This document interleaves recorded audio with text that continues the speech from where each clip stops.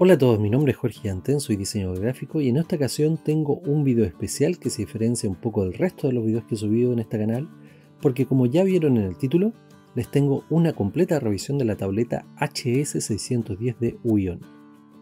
Debo advertir que este video se basa en mi experiencia como diseñador usando otras tabletas y lo primero que debo contarles es que necesitaba una tableta y la marca más famosa de estos periféricos de Wacom ya había tenido un par de ellas, realmente no son las más baratas. Y como desde hace tiempo que vengo escuchando sobre Uillón, me decidí a cotizar y comparar cuál me convenía más.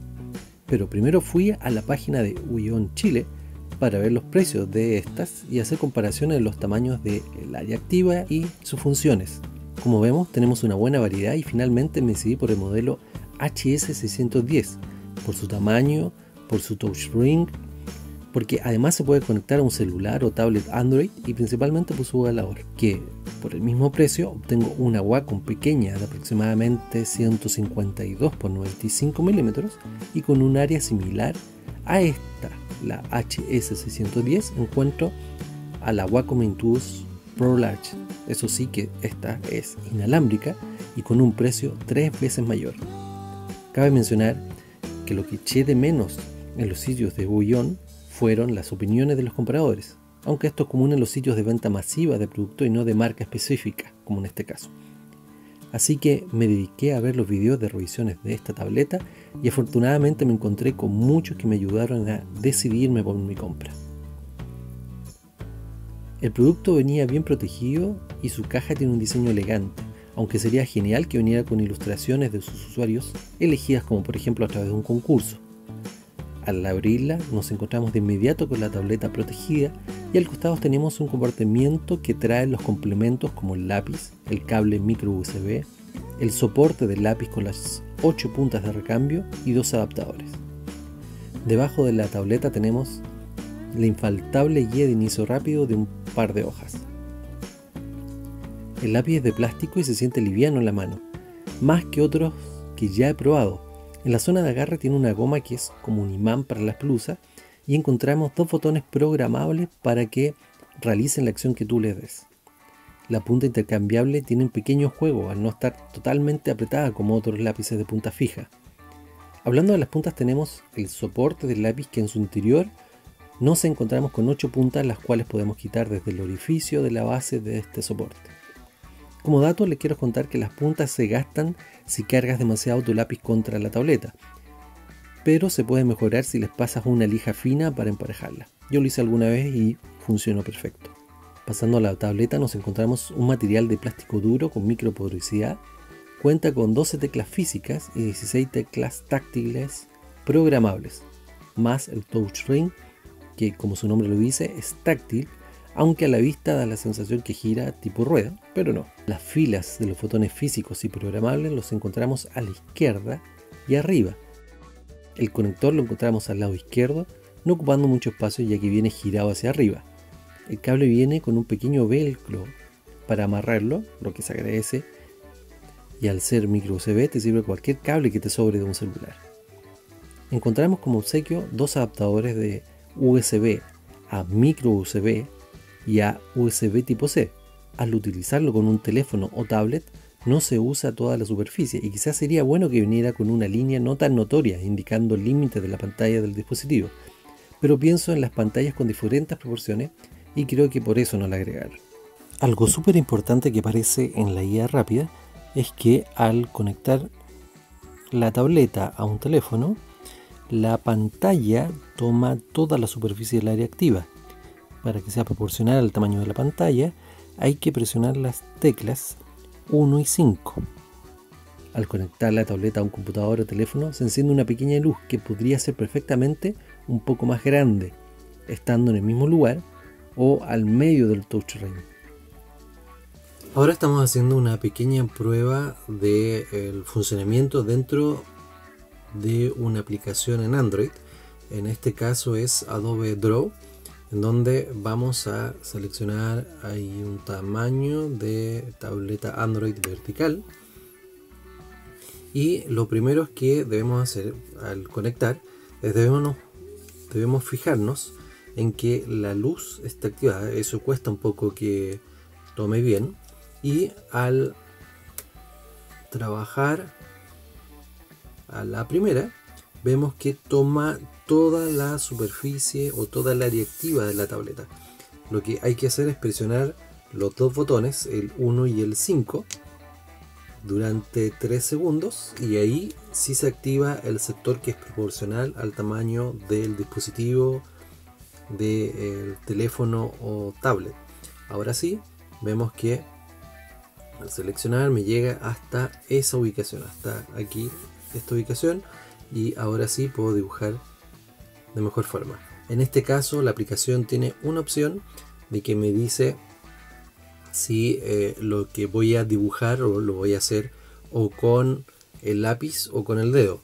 Al dibujar con el dedo, por ejemplo, acá voy a ver una prueba con la primera herramienta. Yo selecciono y la línea es pareja. Esa misma línea ahora al dibujarla con el lápiz, vemos que cambia ahí el grosor. Depende de cómo yo esté manejando. Ahora voy a ver otra aplicación. Ahora estoy en Sketchbook para ver este nuevo boceto, solamente para ver si hay alguna opción especial. Creo que no. No hay alguna opción especial que me diferencie del dibujo hecho en lápiz o línea, que me indique que yo puedo pasar del lápiz o la línea. Por lo que veo a la primera.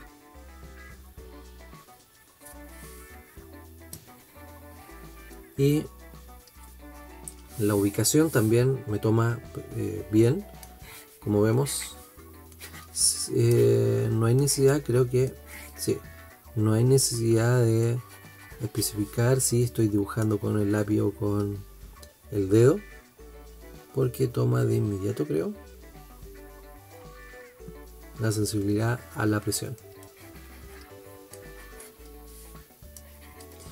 El único inconveniente al trabajar con el teléfono es que ocupa mucho espacio el adaptador más el cable. Entonces hay que tener eh, algo, un soporte para colocar el teléfono. Como en este caso yo puse el teléfono en un adaptador que se coloca en un vehículo.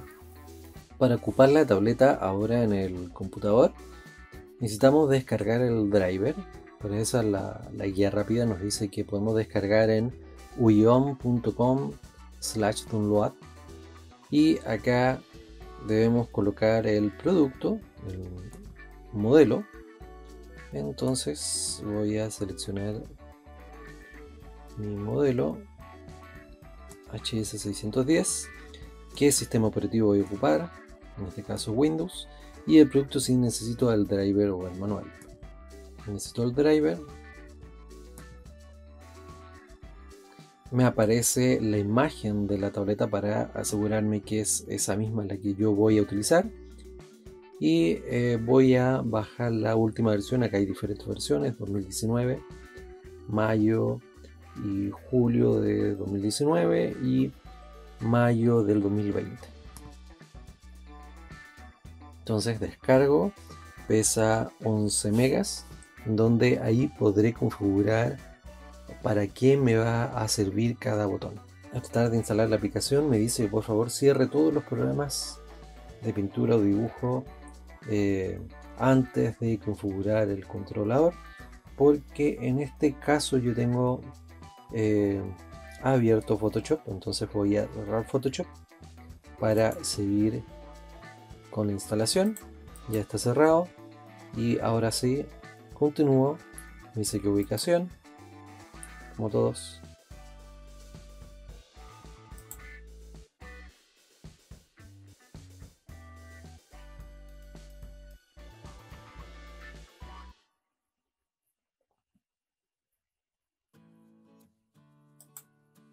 Instalada y vamos a ver ahora qué cosa tenemos. Fíjense que no me aparecen activadas porque en este caso no tengo todavía enchufada la tableta. Así que voy a hacerlo. Ahora sí, está activada. tenemos una pantalla en donde podemos exportar, no sé qué cosa, o importar. Ah, yo creo que eh, sí, podemos exportar las características. Todo lo que nosotros configuremos, si por ejemplo cambiamos de computador, podemos exportar todas estas configuraciones para después eh, ocuparlas de nuevo en un computador diferente. Entonces tenemos las teclas físicas, en donde no, tenemos ahí las 12 teclas físicas y el touch ring que nos dice ahí las opciones podemos ver qué opciones nos da. Y tenemos los botones configurables que son 16 como son tantas opciones yo eh, siempre aconsejo que eh, por ejemplo se impriman o se puedan hacer a mano una guía, una hoja, un papel con el funcionamiento de cada tecla y dejarla, por ejemplo, frente a su pantalla. Y ahí se van acordando para qué sirve cada una. Lo que quiero revisar es que si tengo la opción de personalizar para cada programa. Yo me acuerdo que en la Wacom podía decirle que los, cada tecla podía ser diferente dependiendo de la aplicación que yo estaba trabajando. Entonces tenemos acá las opciones del bolígrafo, del lápiz, en donde tenemos ahí la configuración de los dos botones y de la punta. Acá me da la sensibilidad de la presión. Aparece por defecto así. Fíjense que voy a hacer un pequeño cambio como para que vean la diferencia. Y tengo una diferencia donde el cambio es demasiado drástico, siempre es bueno dejarla en la línea diagonal. Tenemos la opción de habilitar Windows Ink, eh, modo ratón o modo game. El área de trabajo también se puede personalizar si es toda la pantalla completa o si queremos dejar un área eh, personalizada.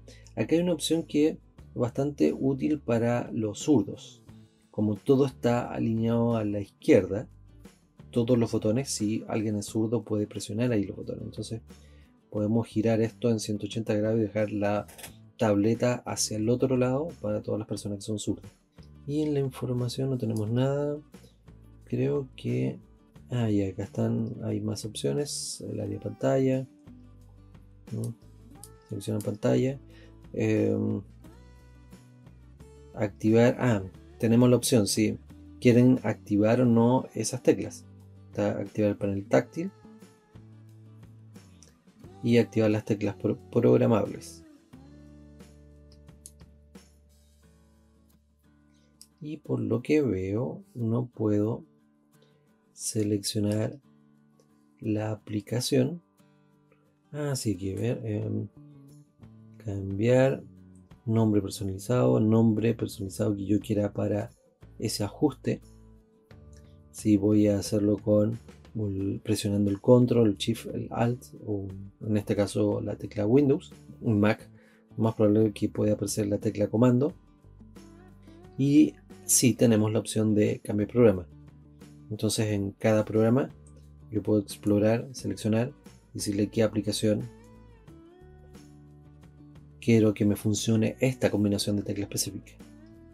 Entonces, ¿cómo puedo hacer eso? De nuevo, hago clic ahí en la configuración, en donde puedo cambiar yo la letra y todas sus opciones y cambiar el programa para cuál me va a funcionar esta combinación de teclas. Para concluir con este video veremos las especificaciones que aparecen en la parte trasera de la caja. Las dimensiones son 350 milímetros de ancho por 211.8 de alto y 8 milímetros de grosor. El área activa es de 254 por 158.8 milímetros. Tiene 8192 niveles de presión con una resolución de 5050 lpi, una velocidad de respuesta de 266 pps, tiene 12 teclas físicas y 16 teclas suaves que se pueden personalizar. Tiene touch ring, conexión con micro USB, un peso aproximado de 600 gramos y, funciona en el sistema operativo Windows y Mac. El contenido de la caja tiene la tableta gráfica HS610, el lápiz digital sin baterías PW100, cable micro USB, soporte para lápiz PH03, 8 puntas de recambio, dos adaptadores OTG USB y la guía de inicio rápido. Lo mejor es definitivamente su precio. Su tamaño es el ideal, ya que no se encuentra pequeña ni tampoco demasiado grande. El touchscreen sirve súper útil a la hora de cambiar pincel sin tener que ir a sus opciones.